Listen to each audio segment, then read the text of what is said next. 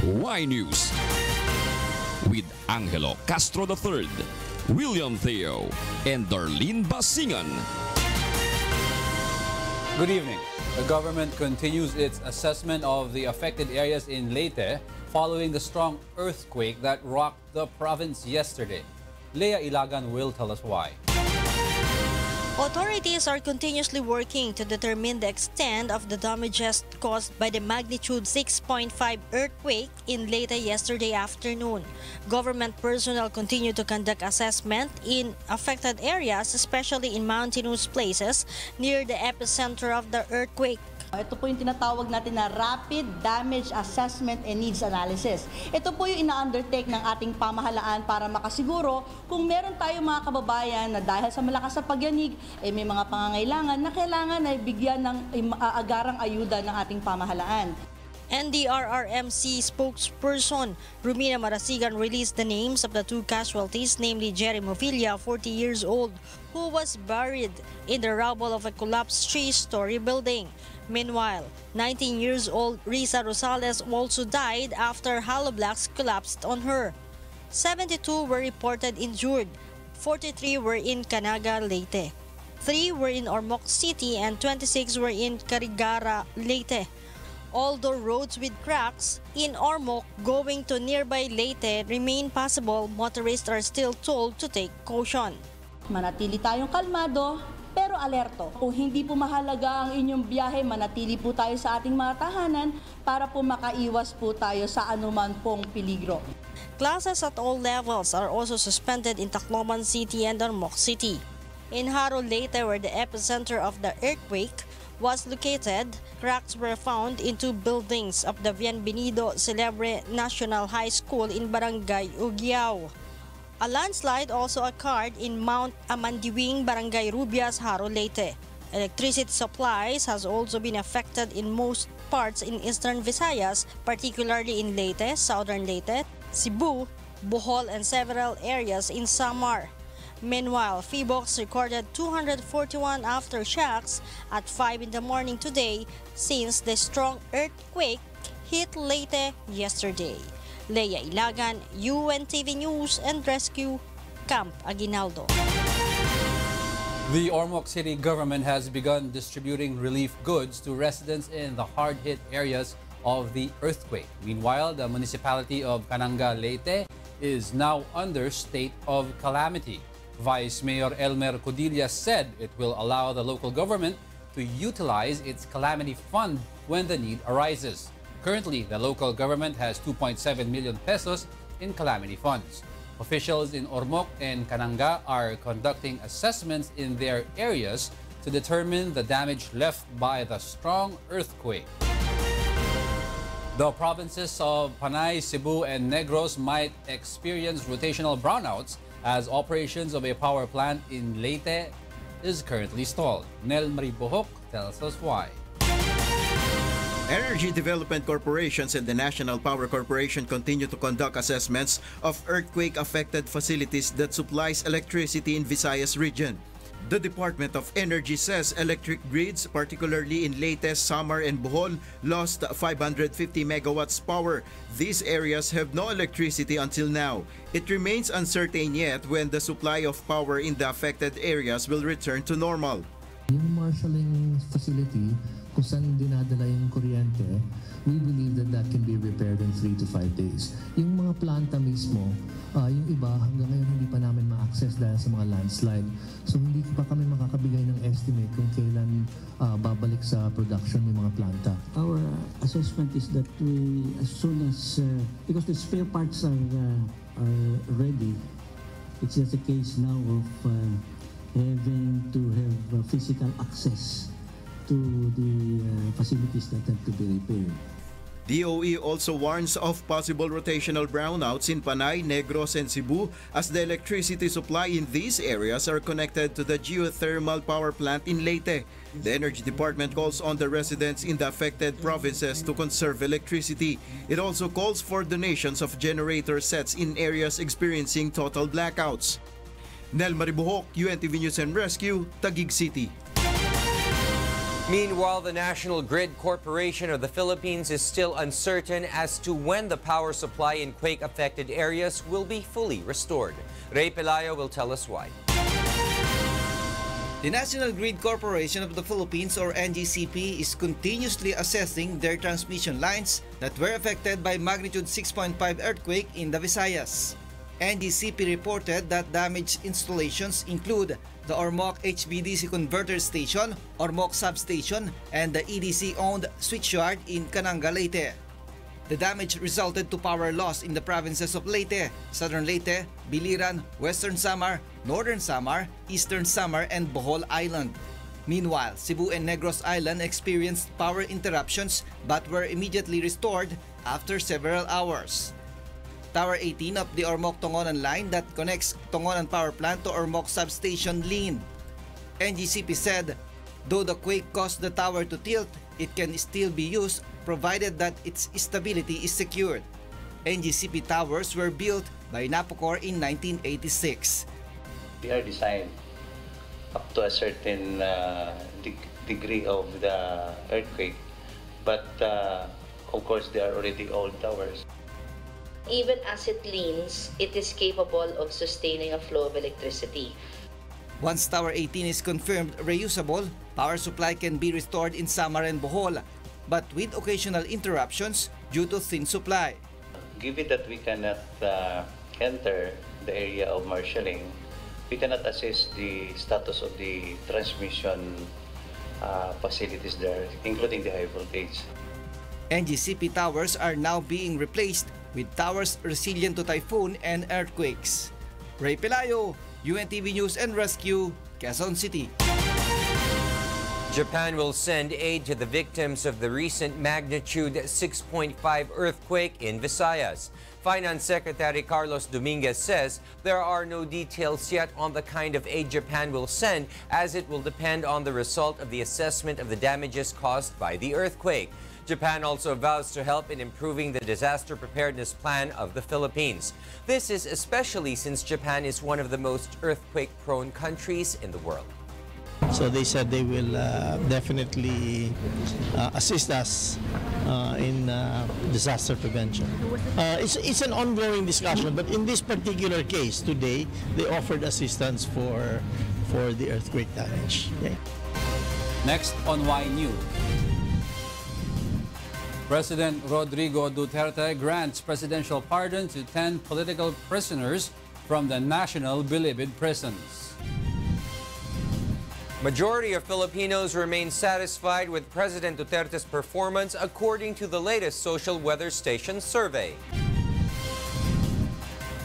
And Meralco announces power rate hike for the month of July. Why News will be right back.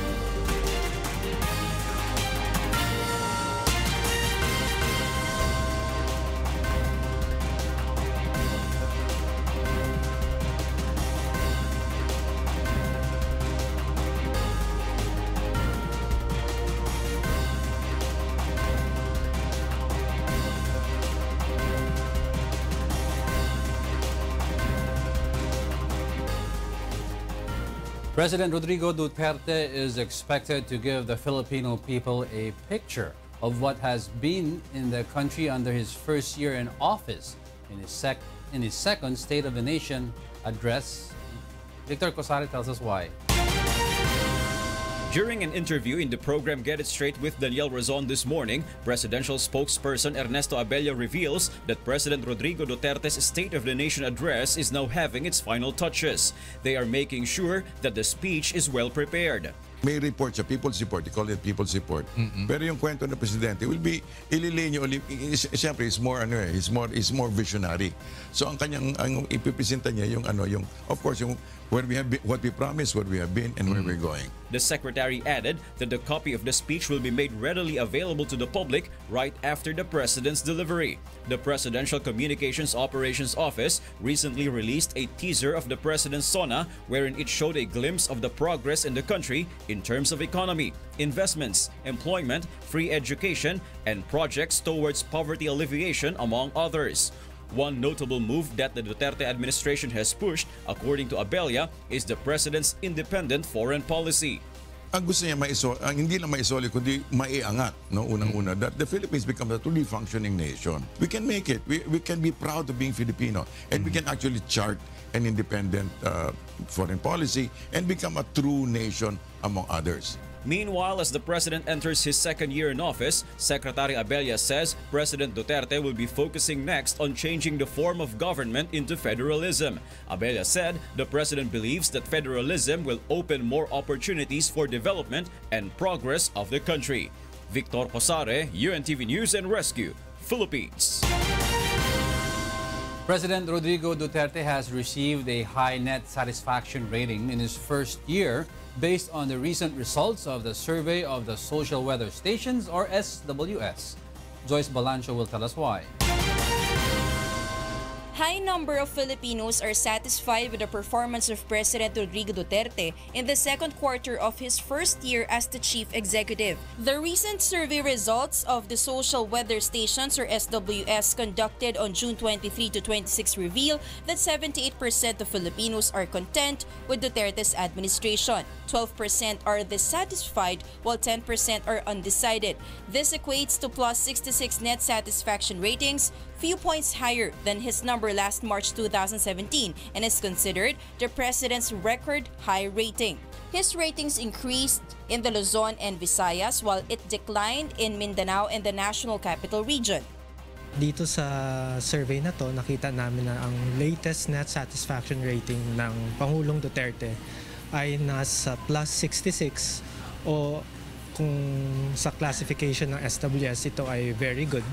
House Speaker Pantaleon Alvarez says the president deserves the rating, saying he works hard and is a sincere and a decisive leader. Ifugao Representative Teddy Baguilat says popularity ratings cannot be an indication of real change and progress. It is a powerful tool which he hopes will not be used for authoritarian agenda.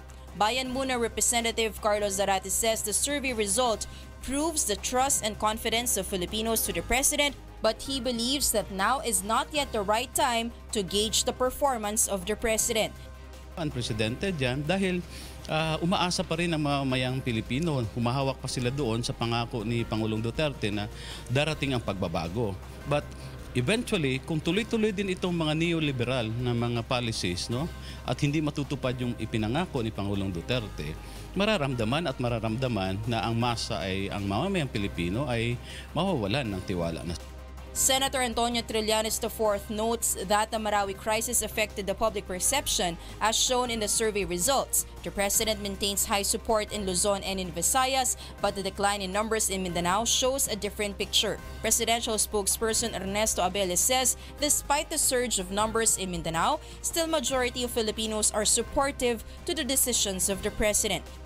The data collection concluded on June 23 to 26 a month after PRRD placed the whole island of Mindanao under martial law. And it shows tacit public support to the president's action following the rebellion in Marawi. The SWS survey is conducted through face-to-face interviews with 1,200 people aged 18 years old and above, representing Luzon, Visayas, and Mindanao. It has sampling error margins of plus minus 3% of national percentage. Joyce Balancho, UNTV News and Rescue, Quezon City. Ten political prisoners can now start a new life after years of detention inside the new Bilibid prisons. Grace Casin tells us why. A total of 10 political prisoners have been released after receiving presidential pardon from President Rodrigo Duterte. One of them is 56-year-old murder convict Jose Unsod. Jose says he doesn't know how to start a life outside of prison after his 20 years in detention. What's more sad is that his parents died while he was in prison. He now plans to search for his siblings in their hometown. Mabawi nga po sa pamilya ko sa ilang taon na nawala po ako sa kanila. Jose is one of the 10 members of the National Democratic Front of the Philippines released last night after receiving a presidential conditional pardon. They feel both happy and sad as more than 400 of their colleagues are still detained. 120 of them they say are sick, while 30 are already in their old age. Ang kulungan doon parang sardinas. Ilang oras na matutulog, mga limang oras, papalitan ng 30 din. para may pupwestuhan lang sa higaan.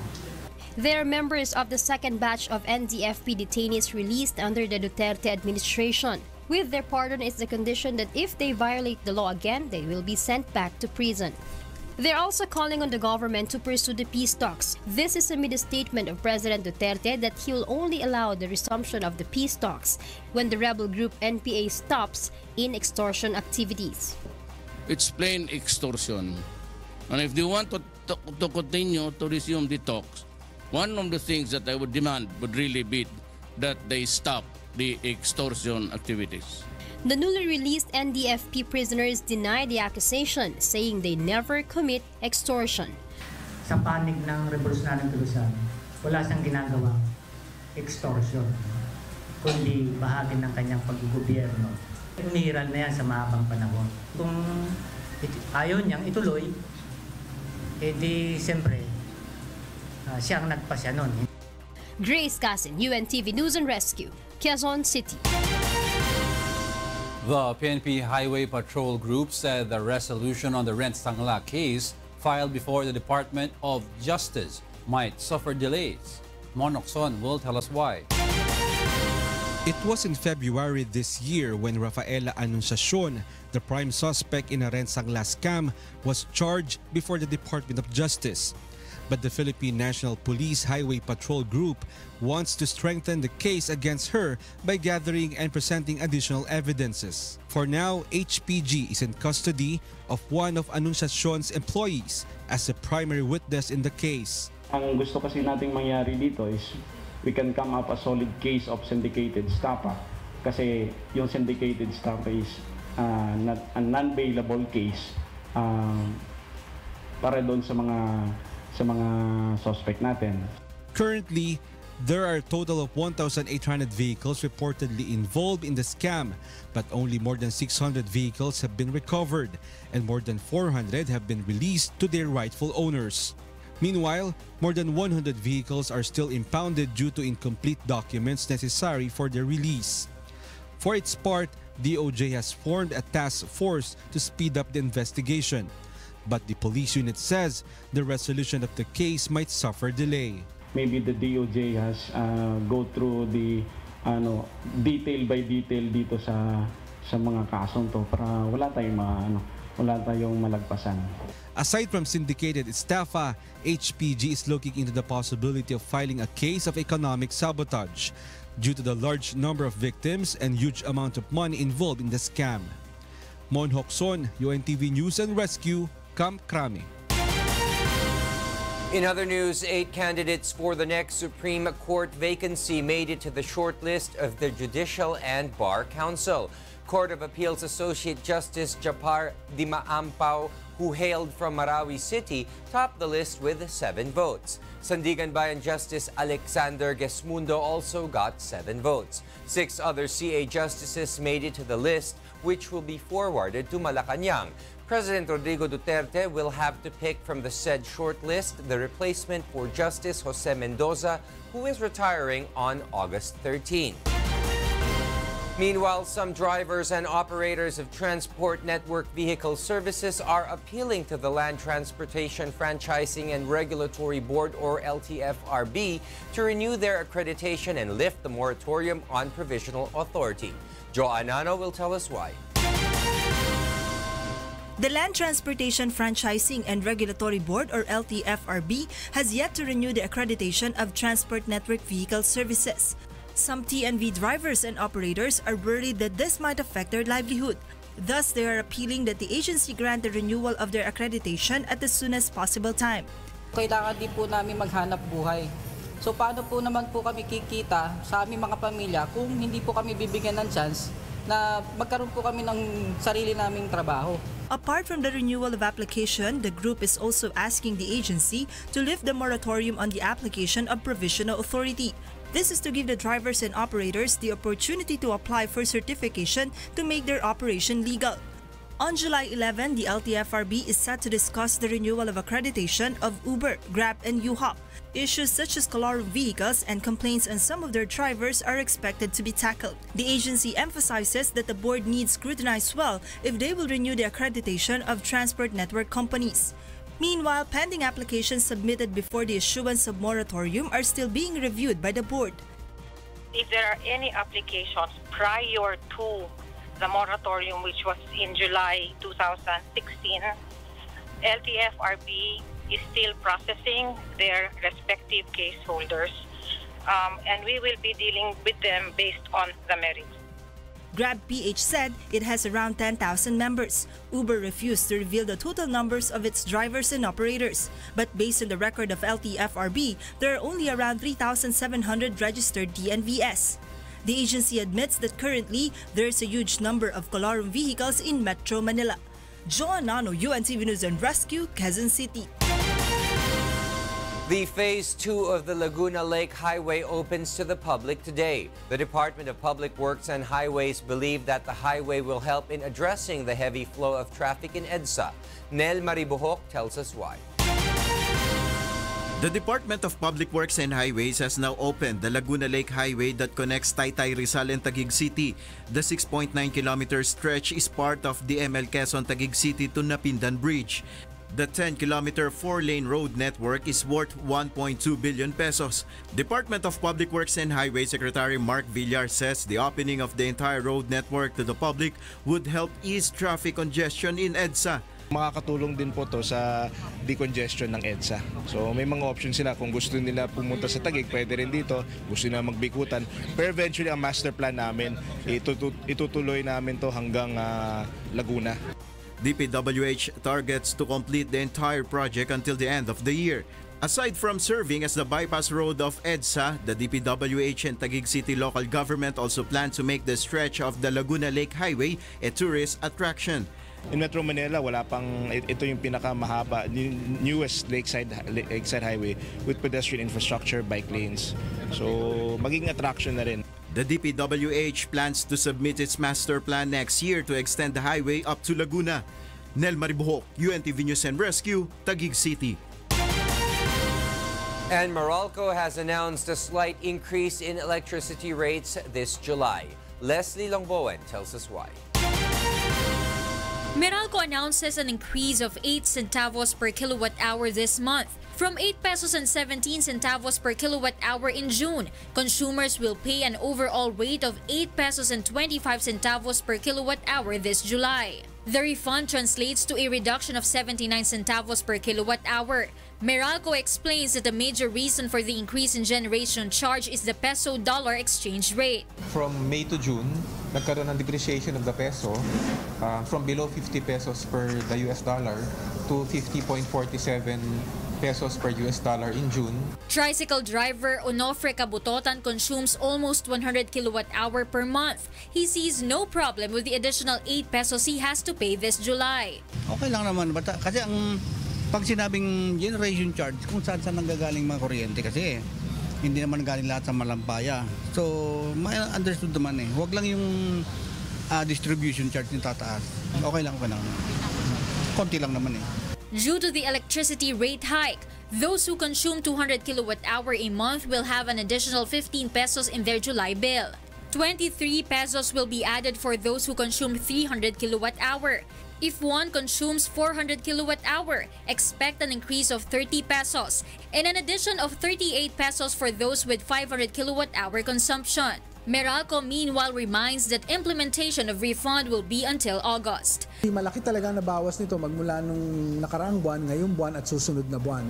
Pero magno-normalize na yung rates natin pagpasok ng September. So yun yung kailangan paghandaan. Leslie Longbowen, UNTV News and Rescue, Pasig City. The Komisyon sa Wikang Pilipino poses the proposal to make English the medium of instruction in schools across the country. Aiko Miguel will tell us why. The Komisyon sa Wikang Filipino believes the House Bill 5091 filed by District 2 Representative Gloria Macapagal Arroyo is unconstitutional and anti-Filipino. The legislation proposes to make English language the medium of instruction anew in schools across the Philippines. It was in 1974 when DepEd imposed the use of Filipino as the medium of instruction in the country's system of education.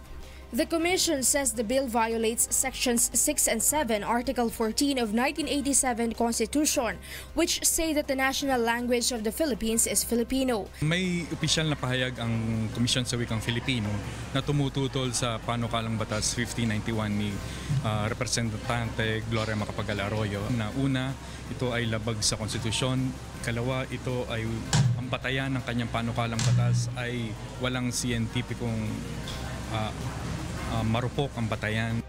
The National Committee on Language and Translation says such a proposal is contrary to the provisions of the United Nations Educational, Scientific, and Cultural Organization or UNESCO that the Filipino youth should learn of their mother tongue. Humihiling sa Kongreso ng Pilipinas at kay Pangulong Rodrigo Roa Duterte na ibasura, huwag pagtibayin ang kontra-Filipinong House Bill number 5091. Some academicians also expressed disapproval on the proposal. May mga kanya-kanya kaming research center.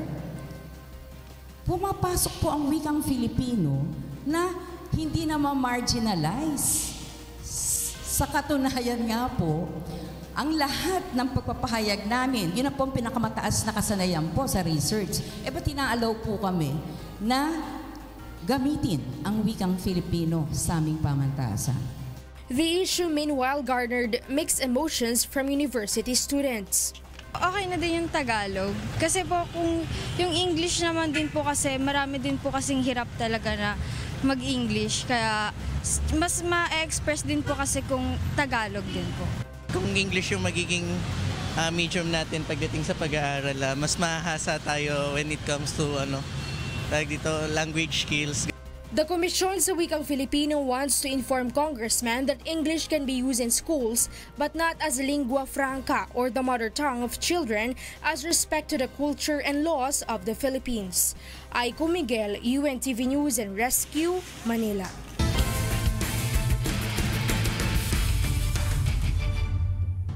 The DOJ Justice Boosters are exceedingly thankful to UNTV Cup despite landing on the third spot of UNTV Cup off-season game. Bernardati tells us why.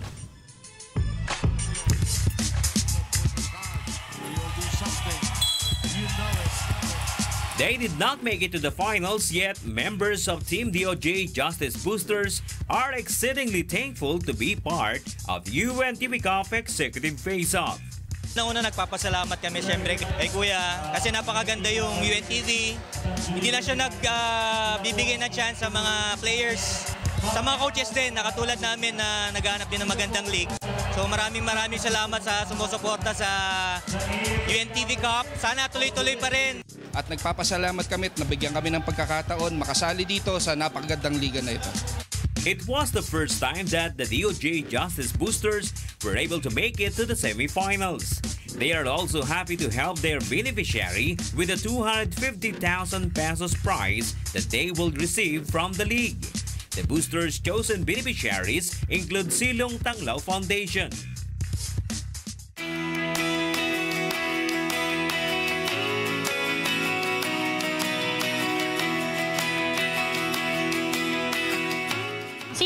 Foundation ay itinatag noong October 27, 1989. Ang binibigay po namin serbisyo sa silang sa mga bata ng center, unang-una po ay uh, shelter, pagkain, edukasyon, uh, yung mga yung mga basic needs na kailangan na kailangan ng, ng isang bata na dapat na supposedly magulang nila yung nagbibigay.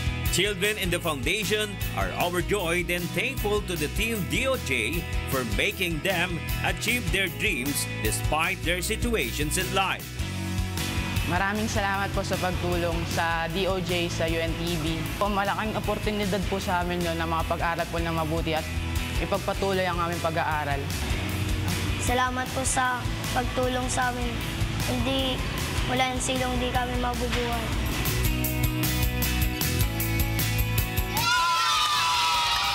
Bernard Davies, UNTV News and Rescue, Philippines.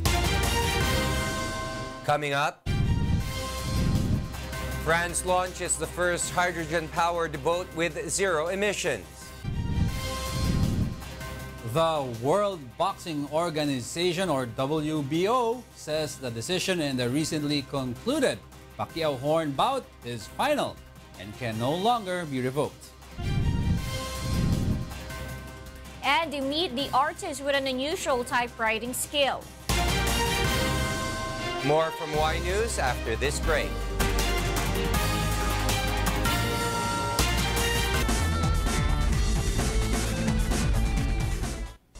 The World Boxing Organization can no longer change the decision of boxing officials on the recently concluded fight of Manny Pacquiao and Jeff Horn in Brisbane, Australia.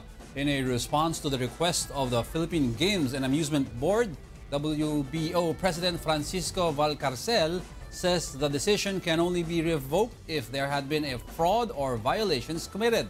WBO also insists that the officials who judge the fight are all professionals, honest, and have good integrity. It also says that it has no jurisdiction to revoke any decision on the fight as it is under the Australian National Boxing Federation. WBO says that it will be better if the board sends evidence of anomalies so it can conduct a probe on the issue. Despite this, the WBO says it will conduct a review of the said fight. In the sixth leg of the Wishcovery on-ground auditions, the Wish 1075 team visited Rosario Cavite to search for fresh talents. Since the auditions began in June, in June 445 aspiring singers have already joined the competition. This July, the Wishcovery team will visit Rizal, Pampanga, and Bacolod. The grand winner will take home 2 million peso worth of cash and a singing contract, a brand new car, and a house and lot. It is open to all aspiring singers age 18 and above. How about that for skill? Huh, Will and Darlene? Yes. Typewriter art. Mm-hmm. That's a very great art. Yes, it is very unique. Very unique, right? Do you have any skills? Well, I guess all of us have our own Your own? skills, of course. Oh, it's, a, it's a weekend. Yes. Yeah, happy weekend. Happy weekend, everyone. Those are the reasons behind the news. July 7, 2017. I'm Angelo Castro III. Reasons we deliver to you as they unfold. I am William Thio. And I'm Darlene Basingan because we need to know We will always ask why. Thank you for watching why news.